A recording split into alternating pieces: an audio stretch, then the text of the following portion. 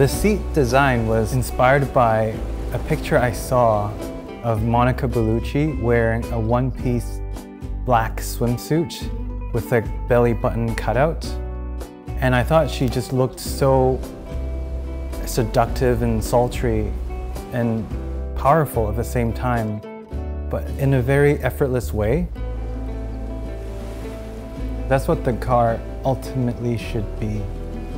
Very capable, but not showing off.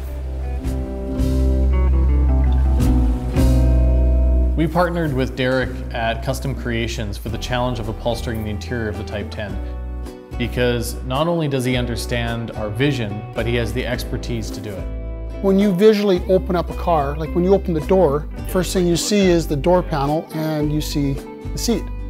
So, I mean, when you're driving the car, your hands are on the seat, you're sitting in the seat, you, you feel the seat. The seat feels good, you, you feel good. I wanted to pose a challenge to Derek. I wanted him to do the, his best work, but with the least amount of detail. Yeah. Say the most by doing the least, you know. What can he do with no stitching?